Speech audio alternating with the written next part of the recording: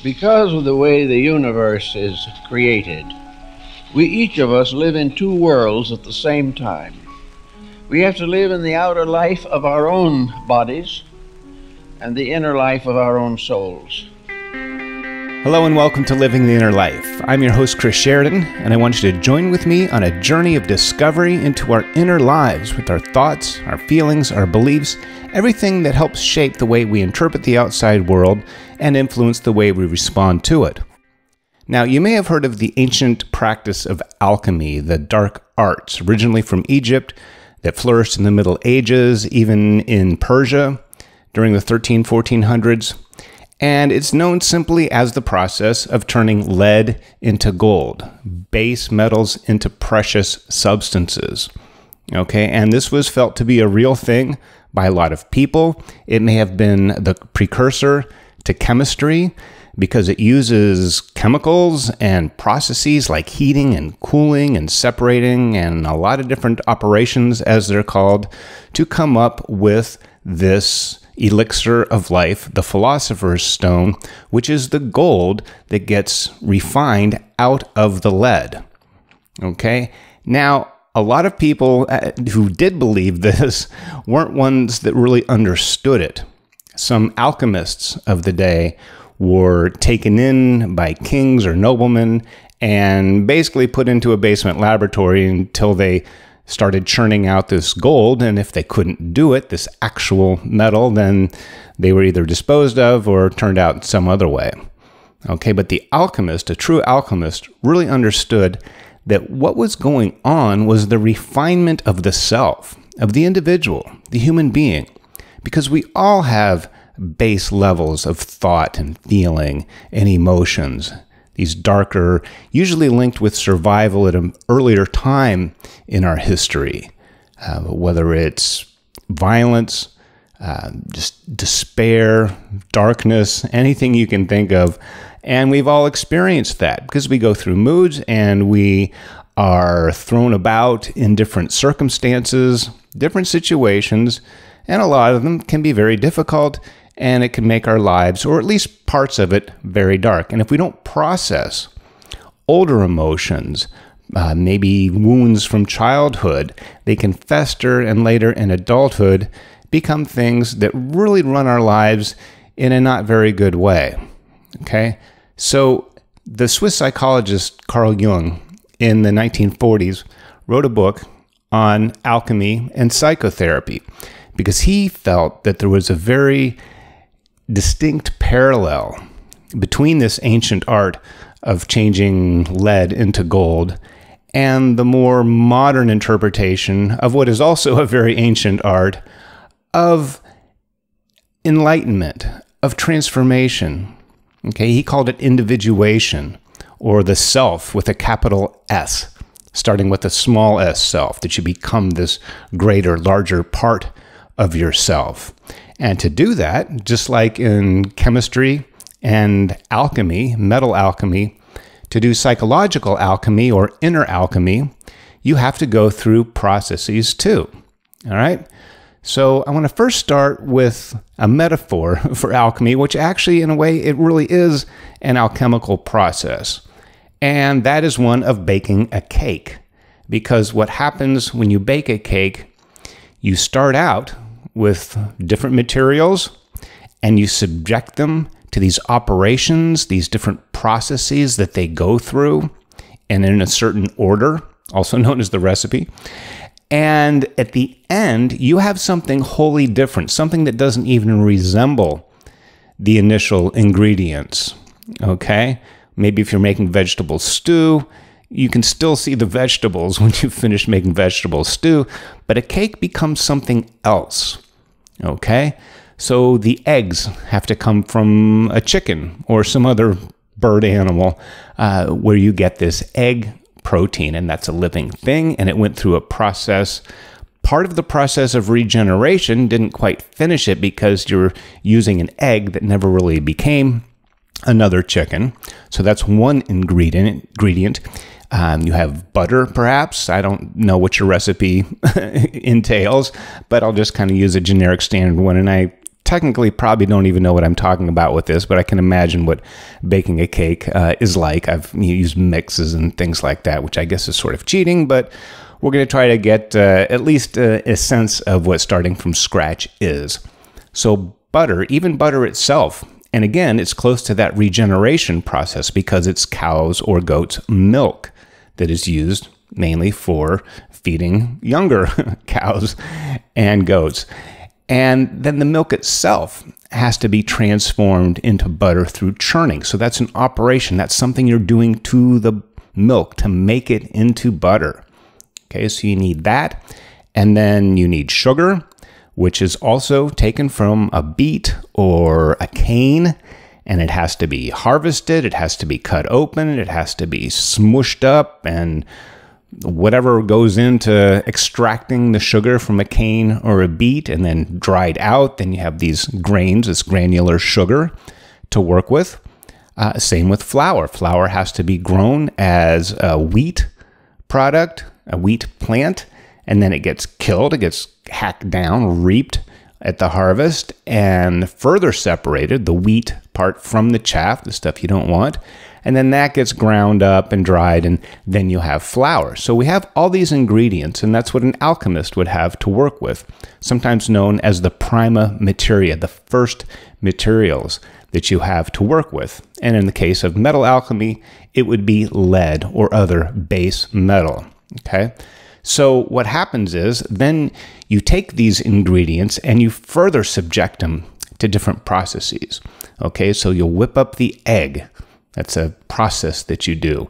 Um, water, part of life, gets poured in, and you mix the sugar and the flour and some other chemicals, I guess they're chemicals, ingredients. Uh, be baking soda, perhaps, maybe baking powder. I'm not sure. I think baking soda is one of the things. I'm not even sure what it is, but it's it's something that you have in your shelf, and you have to put it in the cake for some reason. It does something that somebody figured out a long time ago, and it seems to work if you follow the recipe. Okay? And that would be a formula that an alchemist would use. In the kitchen, we just call it a recipe. So, in order you mix these things together, that is another operation. And when you wind up uh, with this cake batter, it's consistent and it doesn't resemble really anything that was put in there, even though it's all those things mixed together. It's this kind of undefinable mush, and you want to get it mixed evenly so it's consistent in its liquid and solid capacity. It's this kind of goopy stuff. I'm sure you probably know what I'm talking about. And then it gets poured into cake pans and put in the oven. Yet another operation, this heating, this element of fire that goes into it. And you have to put it in the oven like you would a metal in a crucible. Okay, you want to contain this heat around the cake pans. Okay, so and you want to measure it to make sure that it's at a certain time, certain length of time, and at a certain temperature that will turn this cake batter into a fluffy cake. And you pull it out and you cool it down and you put it together, and then you have icing, which is another recipe that you're going to make again with sugar and some other things. And then you have a cake, and it resembles nothing like the ingredients, really tastes like nothing, like the ingredients. And it's something wholly different, but it's completely made of those ingredients. You didn't really bring in anything else. You only used the ingredients on the list and you put them through the process of these operations uh, that are called for in the recipe. And there's certain amounts, there's measuring, there's all this stuff and then cooking it, cooling it, icing it, and you have this cake. So it's been completely transformed. It's been transmuted from one group of ingredients to now you have a whole and you have a singularity. All these ingredients were separate and they came from different parts, either of the world or of the farm or the grocery store, wherever you pick them up, or even in your kitchen. They're in different, you know, one's in the pantry, one's in the fridge, one's somewhere else. So you have this resulting product, what an alchemist would call the elixir of life or the philosopher's stone, and that is this universal medicine that can cure anything or anyone. Or, like the metal metaphor, that would be the gold. And there's something really interesting about the metal that's used in metal alchemy as a metaphor. And I'm getting to that. Uh, and that is that lead is cheap in a way. It's kind of you know, lead poisoning. Uh, it can be poisonous if you get around too much of it or eat some of it. It can be, or at least have a toxic effect on you. And it's soft. It's there's a lot of it's heavy. I mean, it's literally heavy. People use lead weights to fish or to scuba dive or do all kinds of things. And then gold is this much more valuable product. It's much more resilient. It doesn't tarnish this metal. It's a great electrical conductor. That's why it's used in computer circuits and spacecrafts and things like that, scientific instruments. Okay, and it's fully its own thing. If you melt gold down a thousand times, it'll still be gold. Okay, so it really doesn't, once it's become gold, it doesn't really change, of course, unless you make an alloy or something like that. But the gold itself is gold and it's valuable and it's bright and it's shiny, doesn't tarnish. Okay, so like baking a cake, like turning lead into gold, the true alchemist, the inner alchemist, which by the way is you, is one who takes the lower parts of your personality, of your ego, of your organism, your physical body. Not that they're bad, because that's what you're starting with. Okay, and to go through this alchemical process of transformation, when you're transforming your emotions, you can go from the darkness to the light. You can be somebody who's a downer, somebody who's difficult to be around, somebody pessimistic, and you can be a lighthouse that everyone can be attracted to, somebody who has light to share and to shine and to give to others. And has this value, your life, yourself, your purpose, your meaning will have more value. But you go through this transformation. So just keep in mind that as we talk more about this, you are starting out with everything you need. Okay? All the ingredients are there. And if they're not there, they're easily attainable. Okay? You probably have to maybe dig a little bit inside to pull them out. Maybe you have to go back at a time in your life when you were lighter, perhaps younger and free. If now you're feeling older and constrained and cynical perhaps maybe very self conscious, a lot of self doubt in your life, you may have to pull in your memory banks to that time when you were how you want more to be like now, because that can help inform where it is you want to go. And it's honestly, it's not easy. But Jung went through, Carl Jung went through all these processes in alchemy, like I kind of described with the cake. And thought, well, that's what we need to do with our psyche. This is a metaphor, a very symbolic representation of what we need to do inside. Okay, and to spend a note or a minute talking about that, that's why we have rituals, whether it's a pageantry, a dance, or any other kind of ceremony with regalia and masks and you know, all kinds of, you know, music, all kinds of things. It's a very outer thing in a lot of ways. Okay. But it's to get something going inside. Okay. We need to do this outer thing to make an inner change. I know this is living the inner life, and I talk about how change has to come from within uh, so that you can influence and improve your condition and your relationship with the things in and around you. But to do that, we sometimes have to do, and maybe not sometimes, maybe most of the time, we have to do something outside because we are physical beings. We do live in a physical world. And doing this other thing, this physical thing, is a way of engaging more of your senses because you're, you're involving your body and your mind and you're doing things out here. The wor- real work is being done inside but to do that work, you need to do something outside. Okay, like the hero's journey in myth and in movies. Uh, Joseph Campbell is a great one to read, his Power of Myth and The Hero with a Thousand Faces. That this journey, say like uh, the Odyssey, you know, if you go back in mythology to one of the greatest epic tales, you know, Odysseus has fought the Trojan War and won, and he's victorious, and he's been this warrior his whole life. He goes out and it's conquest. He's a very much outer person, living his life very defined by his adventures. And the Odyssey is about his journey home, back to Ithaca. And along the way, he encounters all kinds of trouble, all kinds of difficult creatures. He loses his ship, he loses his crew, he almost loses his life, and he loses about 10 years to take this journey that should have only taken a few weeks. And what that does is that strips away parts of him inside.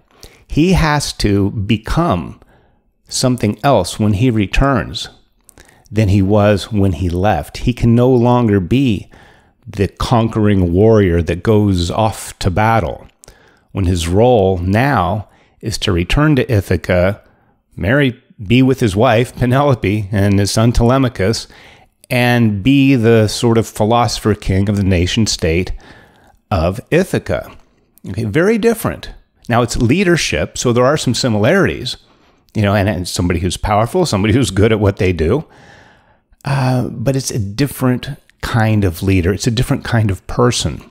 So he could not return to Ithaca the same person he was when he left Troy at the end of the battle or any of his other battles. He had to be fundamentally different, okay, changed by this journey. And yes, it's epic. And there was all kinds of sea monsters and Poseidon and the gods and the goddesses, Athena, everybody seemed to be involved in this epic tale because it is it's the most epic of all, really. And that was all necessary for him to change on the inside. So when he did return, he was the right person at the right time to fulfill the role that he needed to be from that point forward. Okay, so that's just a little exploration into why we need to do these outer things to make an inner change. It's also good because we can see them.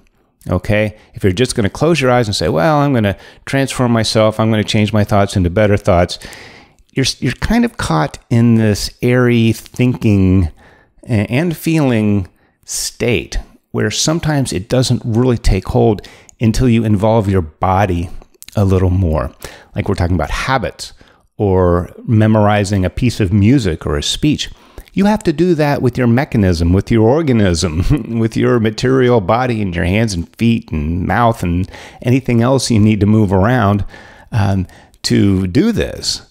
That you can change inside. They're very much related. They're very connected. And in movies, we call this the outer goal, which is the journey, the actual journey, and the inner need. Okay. And at the beginning of a movie, the hero has an inner need that has not been fulfilled, and there is an outer goal to be accomplished. And they seem to be running along parallel not really interfering or connecting with each other. They seem like separate things, but there's always this point in a movie and other epic tale or mythic wisdom story where they clash, where they come together. That the only way the hero can achieve the outer goal is while simultaneously fulfilling this inner need. And they can run up against each other and there can be all kinds of problems. Of course, there are, because this is a test of trials and tribulations to become something else.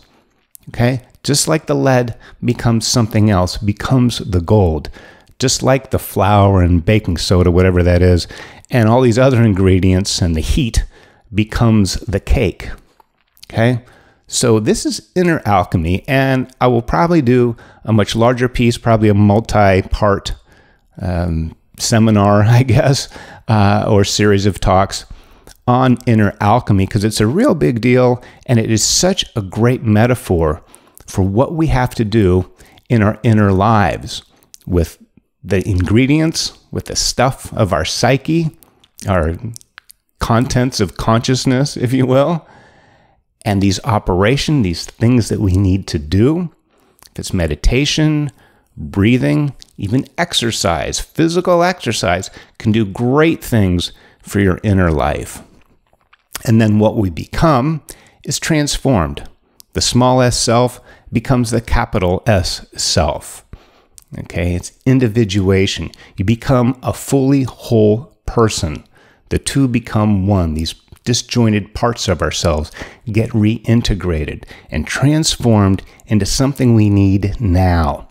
Okay, and you can make this transformation or go through this inner alchemy many times in your life. But a lot of times there's kind of a big one, maybe at midlife or a little bit before, a little bit after, where you say, wait a minute, I really have to make a big change. The things that you need to change at this point are the things that have needed to change for a long time. A lot of them are things that worked then but don't work now for the person and the role that you have to fulfill at this time. Just like Odysseus had to be this warrior and go off to battle and do all these things to be a successful military leader, conqueror, he had to strip that, transform that, cut it, shave it off, boil it down, you know, cook it, whatever he had to do. I'm kind of mixing the metaphors with the with the cake uh, to become this something else that he now needed to be. So look at yourself. Find out are you working under an older paradigm that needs to be transformed? And the answer is usually yes, especially at midlife. Anytime in your 30s, 40s, 50s that you want to make this change, it's a great time to do it. You may have to accept the fact that the way that you operated up until this point, no matter how well that served you, no longer will. Okay? Because you're no longer the person that you were, and you're no longer doing the things in the same way that you did back then when you first developed these skills. So even though they had suited you up until this point for this purpose and meaning in your life now, they will have to be transformed. Seems like they're being destroyed, but they're being fulfilled. Okay? They're being refined into a much more useful, a much lighter, what part of yourself your soul from being dark and leaden to being refined and golden and shiny and untarnished and very, very valuable. Okay? Because you're worth it. You have the material. And through this podcast and other great teachers, not that I'm a great teacher, but other people who are much better teachers than I throughout history have talked about this in some way or another. This process of transformation, personal transformation, psychological transformation, spiritual unfoldment and liberation and enlightenment. And that's what we do here on the inner life. We are living the inner life. We are inner alchemists, and we are the lead that becomes the gold. We are the goal. And through this process of internal transformation, inner alchemy, we can become the golden, untarnished, shining, and very, very valuable people and individuals that we are. And so are you. And thank you. I know you value your time, and I value you being here, listening to me, and sharing this time together. Let me know what you think in the comments, and we'll see you next time here on Living the Inner Life.